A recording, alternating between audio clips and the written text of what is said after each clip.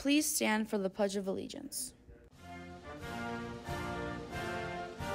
I pledge allegiance to the flag of the United States of America and to the republic for which it stands, one nation, under God, indivisible, with liberty and justice for all.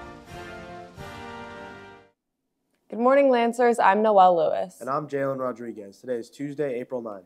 Senior prom packets are in the main office. Fill out the Google form and pick up your packet. Attention all Lancers. The Lancer Locker is announcing its next logo contest where you could win a free hoodie featuring your design.